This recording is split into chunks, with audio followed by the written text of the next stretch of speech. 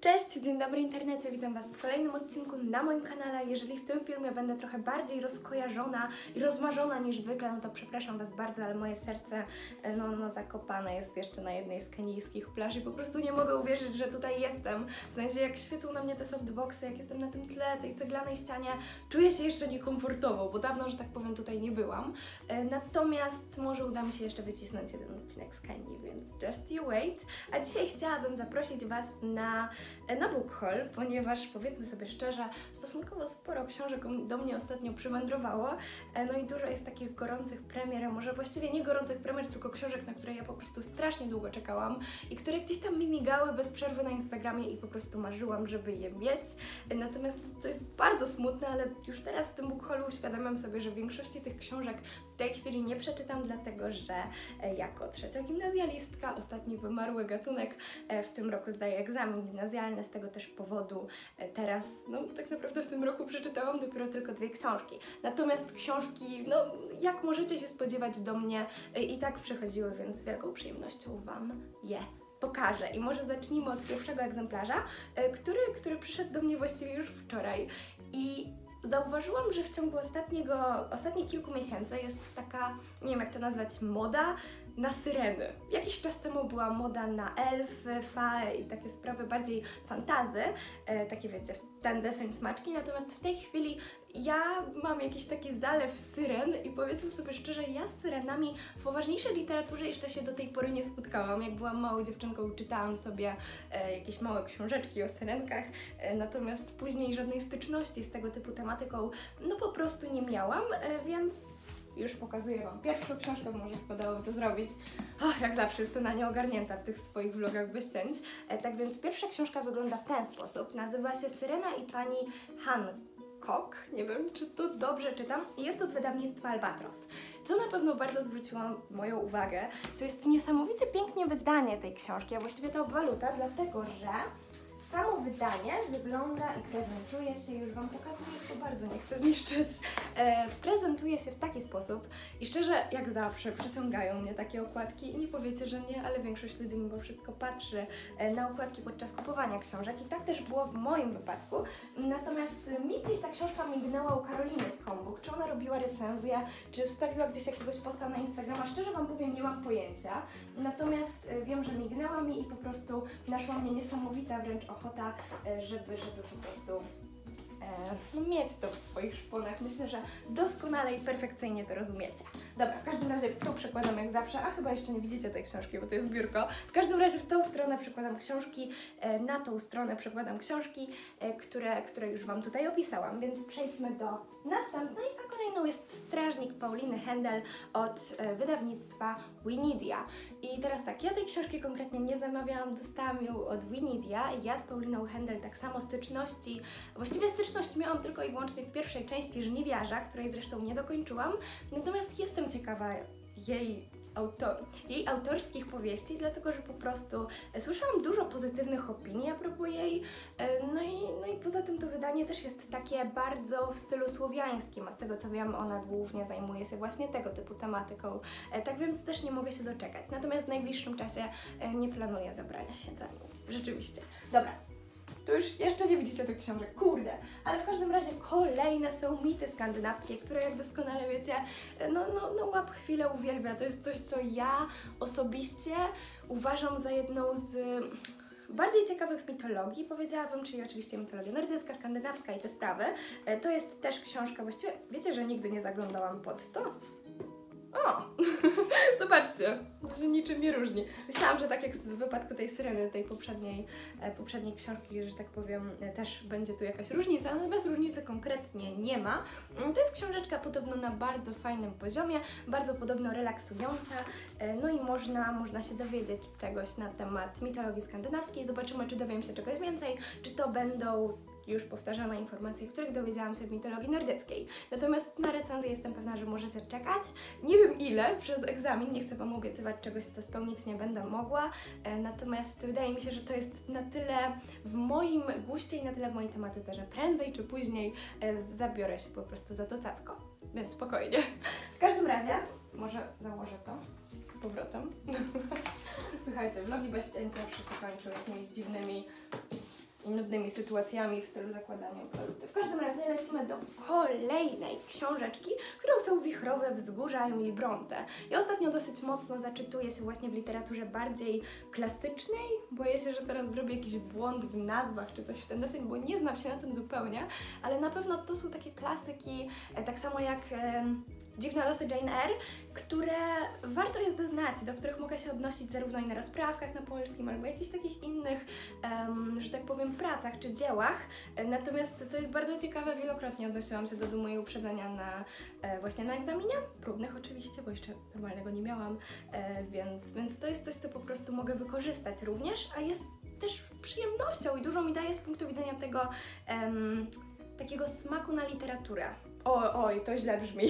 Tutaj bym już wycięła. Powiem Wam, wycięłabym z tego vloga bez cięć. Natomiast jeżeli chodzi o taki czysty smak na literaturę, to mam na myśli, że ta książka spełnia mnie absolutnie, jeżeli chodzi o język, w jakim jest napisana.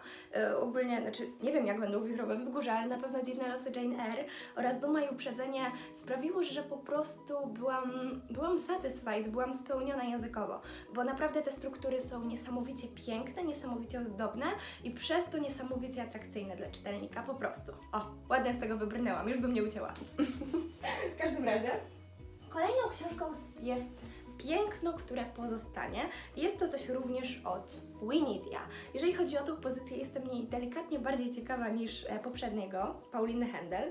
E, natomiast ja tą książkę widziałam też na Instagramie, wydaje mi się, że u Live by Bookoholic, u Dominiki, ale znowu boję się, że powiem coś źle, dlatego że nie jestem absolutnie pewna. Ja często mam coś takiego, że po prostu widzę jakąś książkę, chcę ją mieć, a nie do końca wiem skąd konkretnie e, wzięłam, wzięłam, wzięłam ją autentycznie, nie mam pojęcia. E, natomiast to jest też coś, co, na co czaiłam się już sama. Tak więc dziękuję bardzo Winidia. E, lecimy do następnej książki, która jest Jojo Mois albo Jojo, nie wiem, chyba Jojo, chyba Jojo się czyta.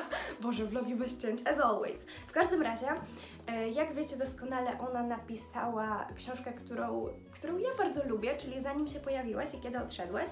E, no i ja tak naprawdę mam przez to sentyment niesamowity do tej autorki.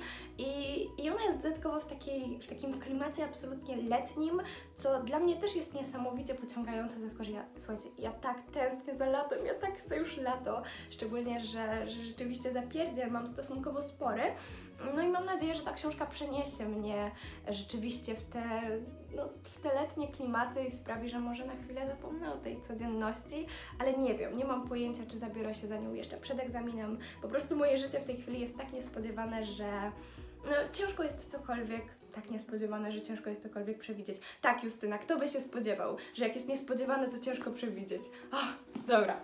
Lecimy do następnego. A następnym jest dziecko Dyna, czyli coś, co już dla wyjątku przeczytałam.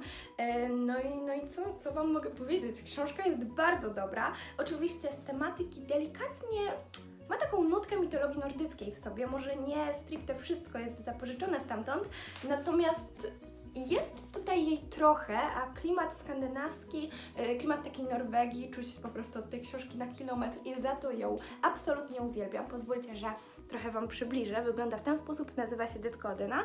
E, jest to książka wyjątkowo brutalna, ale to, to mnie w niej jara, tak szczerze. W sensie mitologia nordycka zawsze jest brutalna, nie oszukujmy się. E, co Wam mogę o niej konkretnie powiedzieć?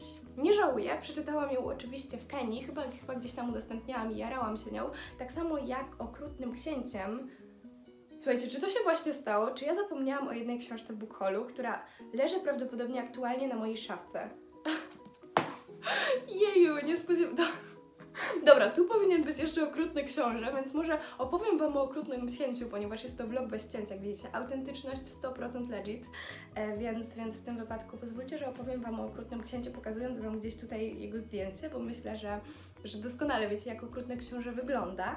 E, no i co Wam mogę właściwie powiedzieć o samym w sobie okrutnym księciu? Książkę też czytałam.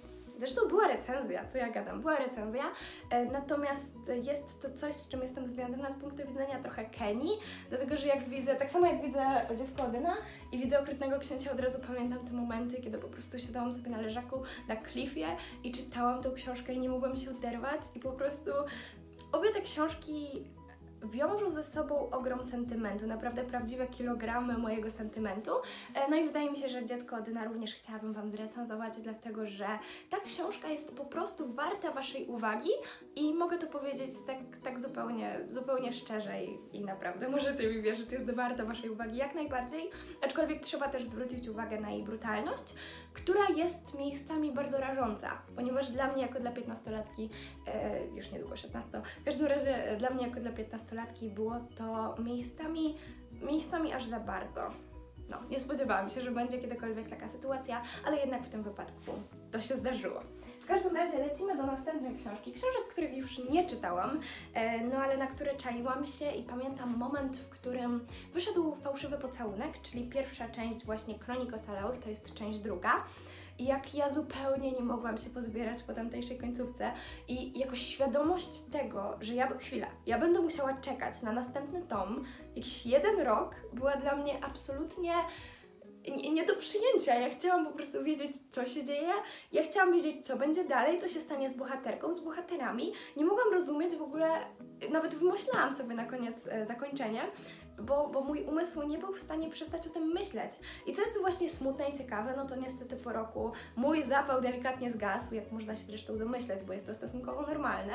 E, natomiast i tak jestem bardzo ciekawa, jak, jak rzeczywiście to u tych kronik ocalałych będzie wyglądać, ale szczerze chyba będę musiała sobie odnowić pierwszą część, bo mimo, że mimo że pamiętam plus minus co się działo, to boję się, że, że nie pamiętam na tyle dobrze, żeby, żeby rzeczywiście tą książkę przeczytać w sposób e, satysfakcjonujący i w taki, jaki bym chciała, żeby wiedzieć jednak o co chodzi w większości wypadków. E, no ale właściwie zobaczymy. E, te książki tak pięknie pachną. Dobra, i lecimy do dwóch ostatnich książek, które również są od czwartej strony oraz od Winidia. I jedna z nich to jest Przebudzeni Colin Hack. I teraz tak, to jest książka, która bardzo zaciekawi zaciekawiła mnie swoim, swoją dziwną, można byłoby powiedzieć, fabułą, dlatego że z tego co czytałam i słuchałam od ludzi, e, w tej, w tej książce występują występuje dziewczyna, która idzie sobie do Muzeum Sztuki Nowoczesnej, czy w ogóle do jakiegoś muzeum i tam jest jakiś sarkofag i z tego sarkofagu wychodzi jakiś egipski chyba faraon, z tego co wiem. Z tego co pamiętam, to był egipski faraon. Pomysł dziwny. Jestem niesamowicie zaintrygowana tym, jak to ma się niby dalej potoczyć, dlatego że z takim czymś naprawdę jeszcze się nie spotkałam. Boję się, że trochę Wam przeinaczyłam tą fabułę, bo mówię szczerze Wam powiem z pamięci i około dwa tygodnie temu dosyć mocno byłam wciągnięta w internet i oglądałam w ogóle recenzję tego e, i, i dlatego sprzed dwóch tygodni to są moje, że tak powiem, przemyślenia. E, natomiast e, spójrzcie, no spójrzcie jak to się ładnie mieni. To jest tak, to jest tak w ogóle piękna książka i naprawdę bardzo się cieszę i bardzo dziękuję, dziękuję Winidia za tą pozycję. Dodatkowo dostałam przepiękny brokat, który na pewno wykorzystam w cosplayach. Dobra, i w każdym razie, czekajcie, czy to się nie zawali? Nie zawali się, dobra. Lecimy do ostatniej książki, którą są Kroniki Jaru. E, no i, no i ja właściwie Kroniki Jaru mam po części już zebrane na mojej półce. To jest część a, żeby źle Wam nie powiedzieć, która to jest część? Nie pamiętam. Natomiast jeżeli chodzi o Kroniki Jaru, to stricte e, mam już wszystkie części przygotowane tak naprawdę, żeby zabrać się za, e, za ich czytanie. No i nie mogę się szczerze Wam powiem tego doczekać, dlatego że też Kroniki Jaru są takim trochę must have'em. Bardzo dużo osób pyta się mnie o to. Justyna, jak tam Kroniki Jaru? Podobały Ci się? Co uważasz? Tak samo o Buntowniczka z pustyni. Bardzo dużo ludzi się pyta i po prostu ja bym chciała w końcu wiedzieć, o czym, o czym ludzie mówią. Mam taką potrzebę wewnętrzną. Z tego też, z tej też przyczyny po egzaminie myślę, że na Kroniki Jaru nadejdzie w końcu czas. No i w każdym razie moglibyście się spodziewać, że to jest już koniec. No bo skoro skończyły mi się wszystkie książki z tej strony, jak to powinno być w tym miejscu. W każdym razie, skoro skończyły mi się wszystkie książki z tej strony, no to na pewno nic więcej książkowego nie mam.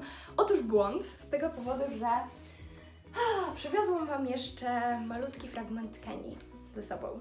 To są zakładki, które kupiłam u Masajów, właśnie u kenijskich ludów, można byłoby tak powiedzieć. Zaraz pokażę Wam je jedna po drugiej. E, natomiast jeżeli jesteście nimi zainteresowani, ponieważ chciałam Wam przywieźć też mały fragment Kenii, oczywiście Wam jako moim widzom, no to aktualnie trwa z nich rozdanie. na moim Instagramie, e, z których będziecie mogli sobie oczywiście wybrać, która Wam najbardziej pasuje i odpowiada, e, no bo to są oczywiście zwierzęta safari, większość z nich w ogóle zresztą widziałam na tym safari i, i po prostu chciałam Wam oddać taki mały fragment mojej podróży, która w bardzo dużym stopniu zmieniła moje życie. Tak więc, jeżeli chcecie, no to zapraszam Was oczywiście na Instagrama klasycznie.